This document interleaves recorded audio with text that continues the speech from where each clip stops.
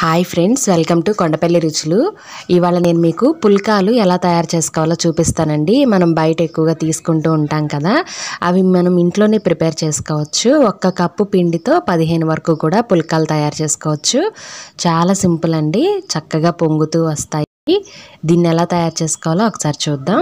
First అయితే నేను ఇక్కడ ఒక కప్పు గోధుమ పిండిని తీసుకున్నాను. అంటే ఒక పావు కేజీ పిండి వరకు పడుతుంది. ఒక పావు కేజీ పిండి తీసుకొని దానిలో ఒక హాఫ్ టేబుల్ స్పూన్ వరకు సాల్ట్ యాడ్ చేసుకోవాలి. సాల్ట్ వేసిన తర్వాత ఒకసారి పిండి మొత్తాన్ని కూడా ఒకసారి కలుపుకోవాలి. ఇందులో మనం ఆయిల్ అనేది అసలు వేయకూడదండి. ఆయిల్ వేయకుండా చేసుకుంటేనే పుల్కాలు అనేవి టేస్టీగా వస్తాయి. ఇలా కొంచెం కొంచెంగా వాటర్ యాడ్ చేసుకోవాలి. మనము ఒక పెద్ద కప్పుతో గోధుమ పిండి తీసుకుంటాం కదండి. దానికి ఒక చిన్న కప్పు వాటర్ సరిపోతాయి. అయినా కూడా మీరు కొంచెం కొంచెంగా వేసుకుంటూ కలుపుకోండి. ఈ పిండి అనేది మరీ గట్టిగా ఉండకూడదు. అలా అని మరీ పలచగా ఉండకూడదండి. అలా మీడియంగా స్మూత్గా ఉండాలి మనకి. అలా ఉండేంత వరకు కూడా కొంచెం కొంచెం తడుపుకుంటూ వాటర్ వేసేటప్పుడు చూసుకుంటూ ఇలా చిలకరించుకుంటూ కలుపుకోండి.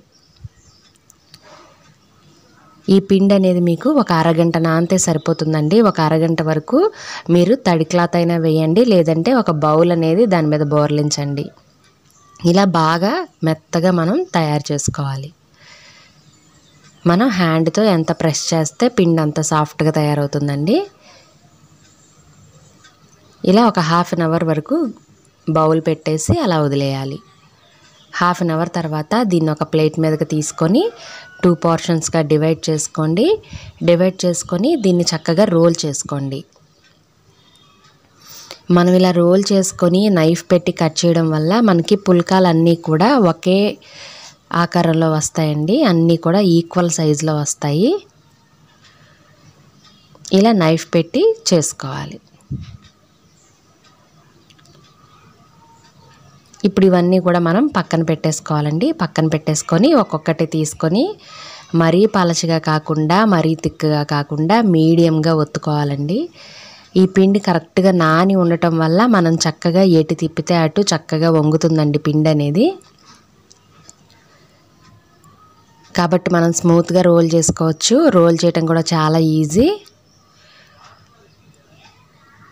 ఇలా ఒక చపాతీ కర్ర తీసుకొని మరీ గట్టిగా కాకుండా అట్లా మనం ప్రెస్ చేస్తే చాలండి. పిండి చక్కగా ఒదిగిపోతుంది.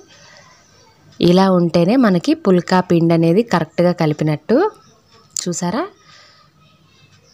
ఇప్పుడు దీన్ని చక్కగా తీసుకొని ఒక ప్లేట్లో పెట్టేసుకోండి. కొంచెం పొడి పిండి రాసుకొని ఒక ప్లేట్లోకి పెట్టేసుకోండి.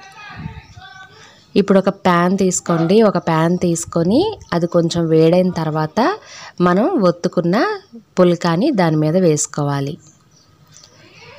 మనం అట్లకాడ తీసుకొని మరీ ఎక్కువ కాలకుండా టూ సైడ్స్ కూడా మనం ఇట్లా అట్లకాడతో నొక్కి పెట్టినట్టుగా రౌండ్గా అలా అనాలండి. అలా అనటం వల్ల బబుల్స్ వస్తాయి. అలా చిన్న చిన్న బబుల్స్ వచ్చినప్పుడు మనం ఇలా రెండు సార్లు తిరగేసి పుల్కా కాల్చుకునేది ఉంటుంది కదండి అది తీసుకోవాలి. దాని మీద మనం ఇది వేస్తే చక్కగా పొంగుతుందండి. ఇలా చక్కగా బాల్ లాగా పొంగుతుంది. అలాగే రిమైనింగ్ కూడా అలా పెనం మీద వేడి చేసుకోండి. పెనం మీద వేడి చేసి పుల్కా ప్యాన్ మీద వేసుకుంటే ఇలా చక్కగా బాల్ లాగా పొంగుతుంది. రెండో వైపు కూడా చక్కగా తీసుకొని రెండో వైపు కూడా కాల్చుకోండి.